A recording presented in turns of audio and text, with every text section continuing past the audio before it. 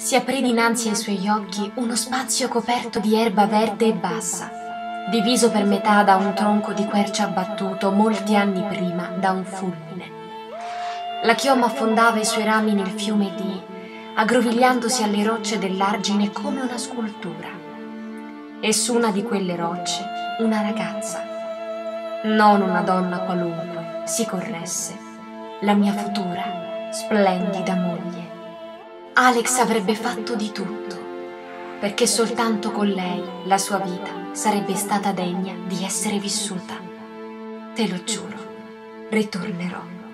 Solo la morte potrà impedirmi di tornare da te.